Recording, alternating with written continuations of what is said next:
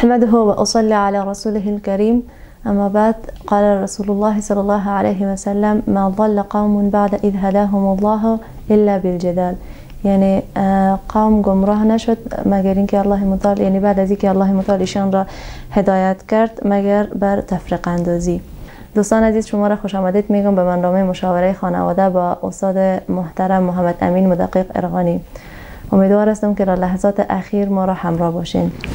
السلام علیکم و رحمت الله و برکاته استاد گرامی و علیکم السلام و رحمت الله و برکاته سلام خدمت شما و خدمت همه بینندگان عزیز تلویزیون اسلامی پیمان امیدوار هستم که همهشان خوب و سر حال باشند سپاسگزار هستیم استاد معزز استاد گرامی یک تعداد از خانواده های ما مشکل تفریق اندازی دارن که زندگی خانواده های اطرافیانشان را به آتش میکشانند. پیام شما به همچون خانواده هایی که منافق صفت هستند چی است؟ بسم الله الرحمن الرحیم. الحمد لله و والسلام على رسول الله و على آله و اصحابه و من والاه و بعد. قال رسول الله صلى الله عليه وسلم وكونوا عباد الله إخوانا. وأيضا قال في مقام آخر المسلم أخو المسلم. وأيضا في مقام آخر المسلم من سلم المسلمون من لسانه و یده. در پاسخ به سوال شما باید گفت که این موضوع یک موضوع واقعا چالش برانگیز است و یک موضوعی که واقعا زندگی دیگران را خراب کرده. خانواده های منافق صفتی بدور از خانواده های خوب ما باشه در هر جامعه در هر سرزمینی هست. بارها شکایت ها هم شده که استاد زندگی ما از دست همسایه ما خراب شد. زندگی ما از دست خانواده خسور ما خراب شد از دست خانواده کاکای ما خراب شد از دست خانواده ماما و عمه و خاله ما خراب شد. استاد ما چه کار باید بکنیم؟ باید بگردیم به دنبال ازی که چرا این خانواده ها با دست و پای دیگران میچسبن از خودشان کار و روزگاری ندارن و همیشه می‌خواهند که زندگی را به کام دیگران تلخ بکنن به نحوی. باورتون بیایه اگر همین طبقه زن زیادتر اعضای خانواده را همیا تشکیل میتن به عنوان مادر، دختر، خواهر، همسر. که اینا اکثر اوقات بیکار هستن اوقاتشان را به تلویزیون ها به سریال ها و به فیلم ها میگذرانن. و همچنان بیکار هستن و به کوچه ها و بازارها میگردن. دیگر رای هم که برشان پیدا نشد در حال دو تا با هم یک جا می نشینن از سر و دامن یک دختر مسلمان دیگه شروع می‌کنن که این مشکل را داره این مشکل را داره. و دختری که پاک و پاکیزه میره درس خودم می‌خونه یا پشت یک کار و مصرفیت خودشان است دهها برچسبی به سر و کله از بیچاره می‌زنن. واقعا این مشکل فعلا در جامعه اطراف در مناطق هم هست در داخل های شهر هم هست. به خصوص خانواده هایی که کدام مصروفیت خاصی ندارن. درس تعلیم کارهای داخل خانه حرفه صنعت دست کاری دستسازی این همه موضوعات را ندارن. پس دلایل از اینا را با ما باید شناسایی بکنیم و پیامی داشته باشیم از دین و شریعت برای چنین خواهرانی حتی برای سرپرستای خانواده برای پدر خانواده شوهر خانواده که عزیز برادر تو چی فکر می‌کنی؟ آیا بزرگترین مسئولیت آوردن یک لقمه نان ورم یا حلال است یا حرام برای زیر دستانت است؟ نه به خدا قسم بالاتر از مسئولیت غذا و پوشاک و خوراک آوردن مسئولیت درست تربیت کردن زیر دستان است. ای که تو در اطراف بیت الله جارو بزنی عرق بریزی درست است؟ امام حرم باشی مفسر قرآن و مدرس تفسیر و حدیث باشی پول حلال حلال شیر مادر بیاری چیزی بخری ببری در فرزندانت بتی بزنت بتی او را مصرف بکنن. ولی متوجه نباشه که خانومت چقدر خانواده های اطراف با منافقت و نفاق و دروی خود به خرابی برده؟ فرزندان چقدر دیگران را به تکلیف کرده؟ در واقع تو هیچ مسئولیتی در قبال زیر دستانت انجام نداد هیچ. پیش خود ارزش نداره. اولین چیزی ای است که ما باید از دستمون از زبانمون دیگه کسا را در امان داشته باشیم. و اونا اعلان بکنیم که همسایه عزیز خودم همسریم اولادیم برادریم دختریم خواهریم هر عضو فامیلیم ان الله که برای شما مایه آرامش است مایه زحمت نیست مایه رحمت است. این همه موضوعات. ولی ما امروز همسایه ها را می‌بینیم زمانی که زنش یک مشکل کلان را به زن ما خلق کرده. دخترش یک مشکل کلان را به دختر ما خلق کرده. پسر جوانش به دخ... دختر جوان ما مشکل خلق کرده در کوچه و بازار. در وقت رفتن به سی مکتب در وقت رفتن به سی مدرسه در وقت رفتن به سی پوهنتون وقتی که مثل آدم بری ازش خواهش بکنی که عزیز به خود چیزی نمیگم چون همسایه هستیم همسایه بر همسایه حق برادری داره لطفا خانمی تا یا دختر تا یا پسر جوان تا از فلان فلان فلان کاری خود من بکن در غیر صورت نشه خدا نخواسته جنگجال ماشون به محکمه و به دادسرا و قاضی خانه بره با جای از اینکه آدم اعتراف بکنه عذر بخواه بر از زیر دستان خود را تنبیه بکنه در حال از یخن ما می‌گیره که تو چیکار تو فکر می‌کنی که زن این گونه است دختر این گونه است پسر این گونه است عزیز برادر تو برو از اطراف خود پرسان کن همه همسایه ها شاهدی میتن که بله ما دیدیم کی کار می‌کنن در واقع این مشکل در تمام خانواده های افغانستان هست باز امی پدر از امی پسر ویلگرد خود که طرفداری می‌کنه فردا باز این پدر با دستان بسته به زندان میره. از جانب امین زن ویلگرد خود با دست های بسته به زندان میره و سر آبرو بالا کردن در میان مردم در قریه و مسجد و منطقه هم نداره. درست است؟ ما در برنامه های قبلی خود بیان کردیم که متوجه باشیم جلوی تمام مفاسد را بگیریم. علاج واقع قبل از وقوع بکنیم. این چیزها در خانواده ها بسیار کم پیدا میشه. موتر خوب دارن خانه خوب دارن زندگی خوب دارن پول خوب دارن ولی دین خوب ندارن ادب خوب ندارن. دخترش یک چهارپای پسرش یک حیوان یک چهارپای. زنش جز خوردن و نوشیدن دیگه چیزا یاد نداره. از ادب انسانی چیزی را نمی‌فهمه.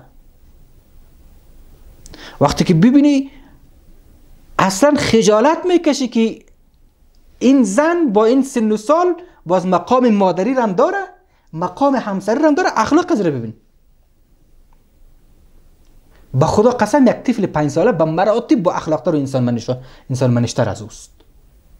بسیار خرابی هاست در, در زندگی مردم. خب هدف ما بیان از این است که بیایم خانواده ما خانواده باشه عینا خانواده پیامبر. ما عینا پیامبر باشیم در رفتار و در اخلاق. همسرانمون این گونه باشه فرزندانمون این گونه باشه؟ نه. حد اقل. در حد توان و استطاعت در امین مسیر خود کام بگذاریم. لا یکلف الله نفسا الا وسعها.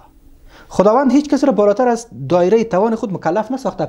ولی مشکل در کجاست؟ درد در کجاست؟ است که ما بر مطابق قانون اندازه و توانمون هم پیش نرفتیم. درست است؟ بهانه کردیم که نمی‌تونیم. بهانه کردیم که ما کجا و پیغمبر کجا. بهانه کردیم که ای بابا دینش دیگه کی کشیده؟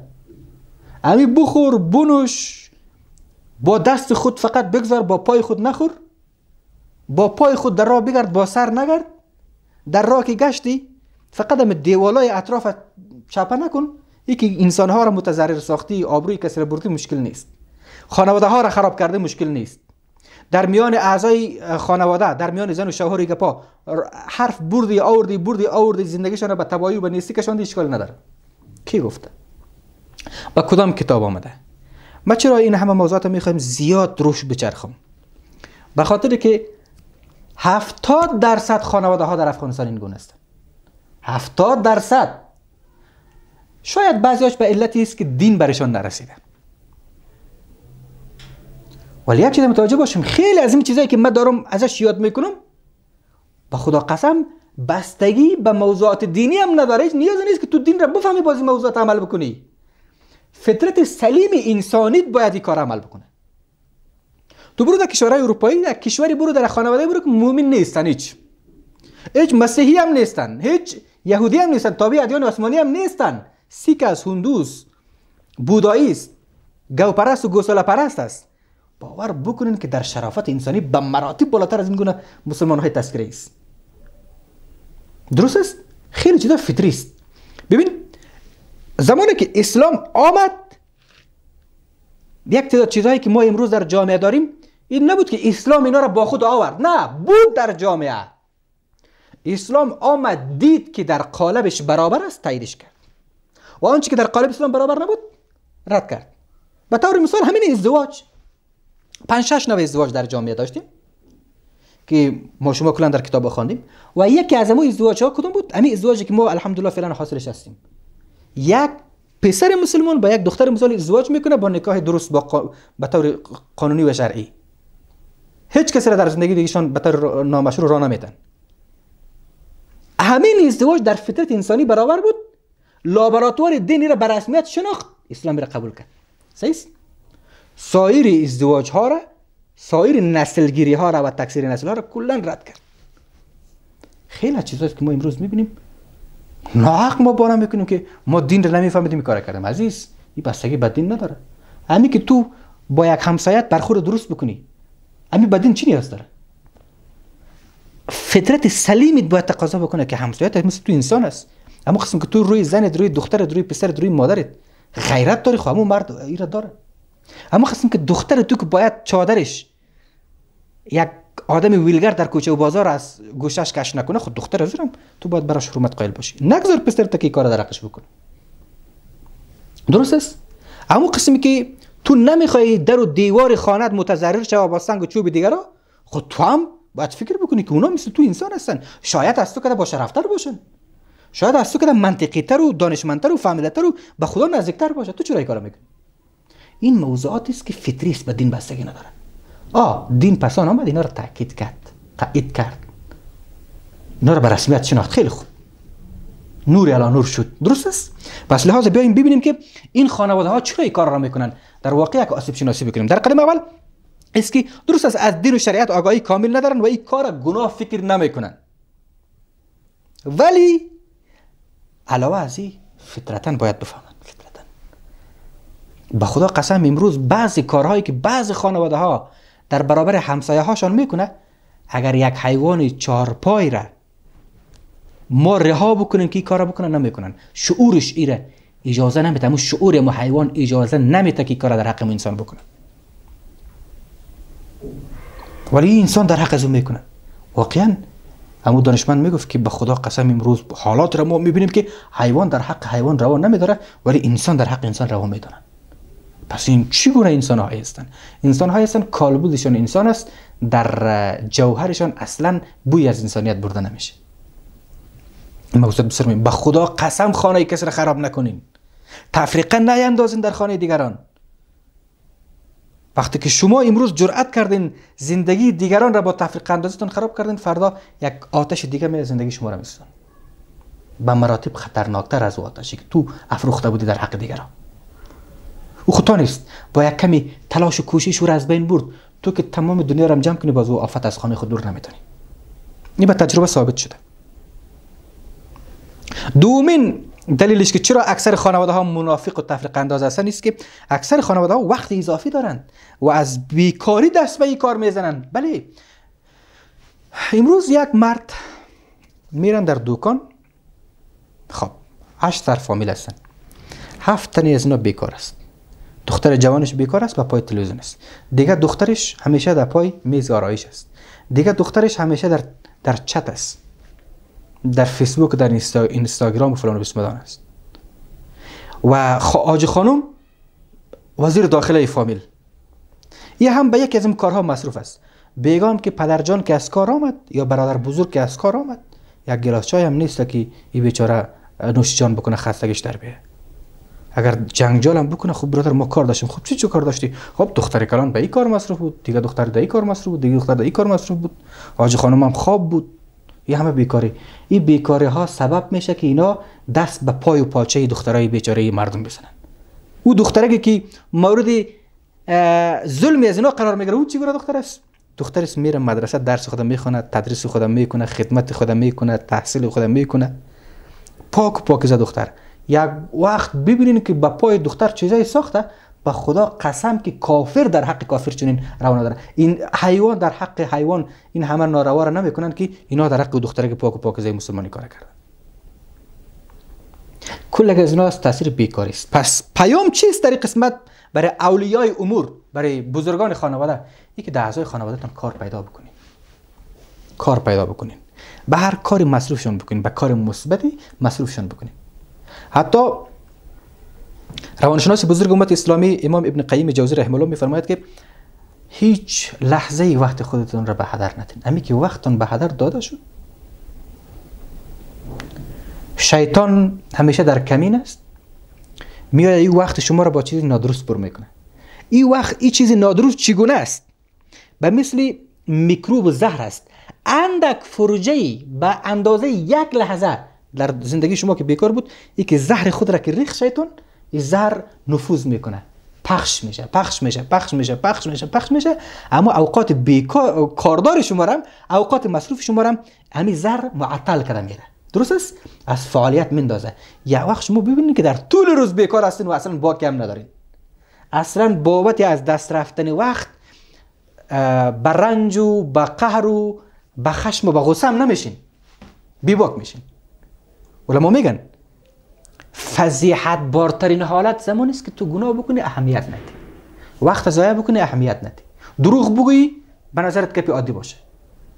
فریب بیتی به نظرت گپی عادی باشه. بکشی به نظرت گپی عادی باشه. آرام بخوری به نظرت گپی عادی باشه. این حالت حالت است که کارت به استخوان رسیده. دیگه انسان از انسانیت خیلی دور شده و خیلی هم سخت است و زمان به کار داره که دوباره پس بر بگرده به حالت اول خود. درست است؟ این موضوع خیلی مهم است. سومین دلیلی که چرا اکثر خانواده ها منافق و تفریق انداز هستند است که بی هدف و نادان هستند بی هدف هستند هدف. ها دال این سه حرف یک کلمه می‌سازه به نام هدف. و این هدف ما را از بستر خواب میخزنه. ما را به مسجد می‌بره. ما را به دانشگاه می‌بره. به محل کار می‌بره. ما را نمی‌گذاره که یک لحظه خود بیکار بتیم هدف. با کمال تاسف که این گوهر نایاب در زندگی اکثر مردم نیست. بپال در زندگیش. پیدا میشه. هر چیز پیدا میشه. دروغ سخنچینی غیبت آدم روبایی هر نوع چیز در دکان زندگی از پیدا میشه در قاموس زندگیش. بپال در قاموس زندگیش در دکان زندگیش. بپال بپال بپال چیزی به نام هدفش نمیافی اصلا. اگر کشتم بکنی سبزم نمی‌کنه. نبود هدف در زندگی. اگر صبح وقت از خواب خیستین دیدین که هدفی در زندگی ندارین بهتر از پس بخوابین چرا؟ گشتن شما در میان جامعه یک چیزی گذاف است. در شار برین. این همه عالم مردمی که می‌بینین. کل از اینا هدف داره نه. اکثر از اینا به هدف است. پرسان بکو امتحانان پرسان بکو. 50 درصد مردم که داخل شهر میگردن به هدف میگردن. اصلا نمی‌فهمه که من چی کنم کجا برم به خاطر چی چیکار کنم. هیچ. پس لحاظا عزیزان در اعضای خانوادهتان هدف ایجاد بکنید. در قلب دخترتان قلب خواهرتان مادرتان فرزندتان همه اعضای خانواده هدف ایجاد بکنید. حالا و حالا و حالا و حالا تا که به جای برسه دیگه دست به بیکار نداره این بیکاری انسان را به نابودی می‌کشن این بیکاری انسان را به نابودی می‌کشن خب چهارمین دلیل چیست؟ اکثرا از آبا و اجدادشان یاد گرفتن از محیط زیستشان یاد گرفتن. چرا اکثر اعضای یک خانواده که منافق و تفریق انداز هستند او طرف دختر یک کسی را به باد نیستی میته او طرف خواهر یک کسی را به باد نیستی میته او طرف یک خانواده را بیخ از هم می‌بره به زندگی دیگرها کلکشک می‌کنه یک زن شوهر از یک دیگه خود جدا می‌کنه. مثل شیطان؟ اینا کسایی است که از آبا و اجدادشان گرفته آقا جانش هم یک آدم قهرمان بوده یک وقت. یک منافق درجه یک در جامعه بوده. وقتی که می‌رفت سر مسجد یخنی مقتدر با, با امام امام با مقتدی. درگیر می‌کرده. و حالا امروز بچه از یاد گرفته دختر از یاد گرفته. پدر رفت در مسجد. دو دانه موی سفید با هم جنگ کرد. دو تن موی سفید با هم در جنگ انداخت. خانه آمد با کمال افتخار بیان کرد. دختر از یاد گرفت. دختر رفت در میان دو خواهر در خانواده دیگه جنگ انداخت. در میان زن و شوهر جنگ انداخت. در میان سنو و خوشو جنگ انداخت. که جنگ سنو و خوشو وقتی که در بگیره به مراتب تخریب کننده تر از جنگ جهانی اول و دوم خود بود. این کار که می‌کنن. همین دخترک های بیکار و مقلد آبا و اجدادشان در داخل خانواده های کار می‌کنن. این همه موضوع. پنجمین دلیلی که چرا اکثر خانواده ها منافق و تفریق انداز هستند است که بی شخصیت هستند و این کار را نشانه رندی می‌دانند دقت کردید لا تکن امعتا یک توصیه است. یعنی بی شخصیت نباش. بی انسان بی شخصیت چی؟ انسان بی شخصیت کسی است که وقتی که در در وجود خود می‌بینه در نفس خود می‌بینه درون خود را وقتی که می‌بینه هیچ چیزی پیدا نمی‌کنه. هیچ چیزی. این یک چیزی به درد بخور پیدا نمی‌کنه. پس دنبال روی دیگران میشه. متوجه هستین؟ باز وقتی که چی شد؟ شیطان این را فریب میده. شیطان امی آدم به شخصیت را فریب میده. هر کاری بی معنا و مفت و بیهوده از در نظرش هنر جلوه میده. سیسته شیطان اعمال این مردم را در نظرشون مزین و خوب جلوه میده. بترسین از روزی که کار بدتان در نظر شما نیک بخوره. اینجاست که شما خودتان خودتان را تشویق می‌کنین. شیطان در گوش شما ویز ویز می‌کنه دست به خراب می‌بینین در آینده یک خرابکار بزرگ میشه. این بسیار مهم است. پس لحاظا کوشش بکنیم که در خانواده ها این موضوعات را را نتیم زمانی که این موضوعات را در خانواده ها را دادیم خانواده را خراب می‌کنه. علاوه از که خودشون را خراب می‌کنه دیگر را خراب می‌کنه. این خرابی ها خرابی لازمی نیست. خرابی متعدی است. علاوه از که خودی خانواده را خراب می‌کنه دیگر را خراب می‌کنه. ششمین دلیل چیست؟ چون پدر و بزرگ خانواده هیچ وقتی برای مدیریت از اونها اختصاص نداده. درست است؟ پدر و بزرگ خانواده هیچ وقتی برای مدیریت اعضای خانواده خود اختصاص نداده. پدر عزیز برادر, برادر عزیز زمانی که تو از کار شب میایی می‌بینی زیر دستار خود را. خواهر خودت پیش خود بخواه خواهر عزیزم. عزیزی برادر امروز چیکار کردی؟ حتی از مادرش پرسیدم که مادر جان درست است که من فرزند شما هستم و شما ادبیات گرفتم همه چیز یاد گرفتم. لطفا ما به عنوان سرپرست خانه چون دین مرا مسئول کرده مادر عزیزم امروز چی کار کردی؟ اگر مادرش کاری غیبت یک کسی را کرده بود مادر جانم شما مادر هستیم بهشت زیر پای شماست. این فضیلت بسیار بزرگ است. این فضیلت خودت به دست خودت خراب نکن. فضیلت ها همیشه مسئولیت دارد ثم لتسألن يومئذ عن النعیم. قانونچه ای که قانون موفقیتی که از این آیت ساخته میشه چیست؟ فضیلت ها در کنار خود چی داره مسئولیت ها متوجه هستین این خیلی مهم است. از تمام اعضای خانواده خود مدیریت کو اونها را محاسبه بکو پرسان بکو. اگر در جای خوب رفتن تشویقشان بکو در جایی که بد رفتن اول تنبیهشان بکو. اگر اگر با تنبیه هم نشد در حد ذرت سرزنششان بکن. خیلی مهم است. که با کمال تاسف موضوعات نمیشه. هفتمین چیزی که دلیلی که چرا اکثر خانواده ها منافق و تفریق انداز هستن است که دیگران در زندگی اینها تفریقه انداختن اینها عقده‌ای شدن. ولی می‌خواه عقده خود را بر کسای دیگری خالی بکنه این موضوع خیلی موضوع مهم است. پس لحاظا چی اونه؟ ما یک روز در این موضوع متناسب همین موضوع در رابطه به اطفال خیابانی صحبت کردن در یک جای. این دختران جوانی که در کوچه ها می‌کردن به خاطر یک لقمه حالا بگذاریم که این واقعا مستحق هستن و یا او را بین یک حرفت انتخاب کردن او کار خودش او کار علایده است. یا زنان جوانی که شوهردار هستند طفل در بغلشان است.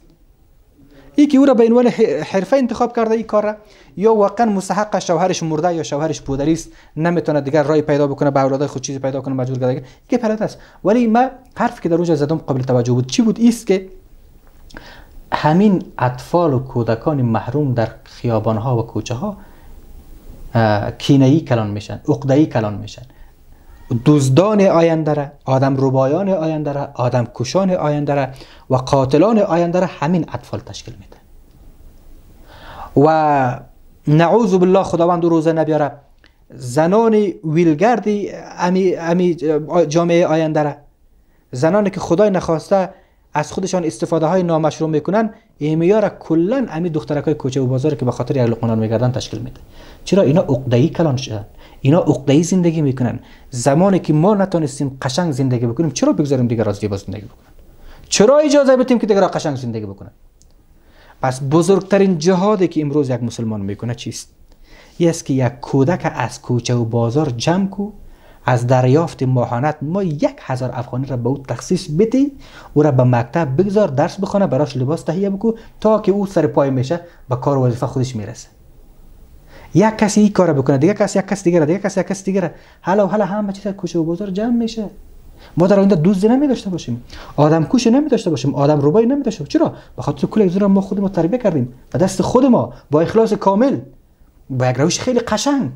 درست است که امروز دولت همه چیز داره. دار ایتام داره.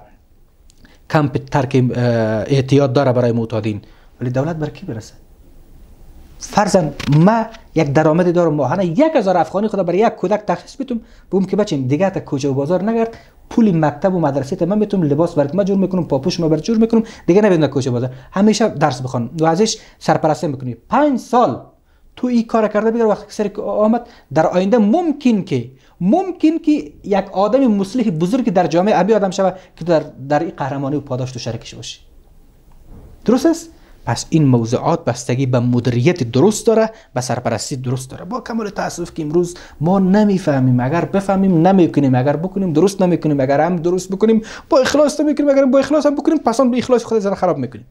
سید قطب رحمه الله می‌گفت که تعداد کمی از, از این جامعه مؤمن هستند و تعداد از این کمی مؤمنان مؤمن واقعی هستند تعداد کمی از این مؤمنای واقعی عامل هستند تعداد کمی از این مؤمنای عامل مخلص هستند پس اینها کم های کم های کم های کم ها هستند پس خدا اینا را حفظ بکنه و جامعه را با اینا آباد بکنه.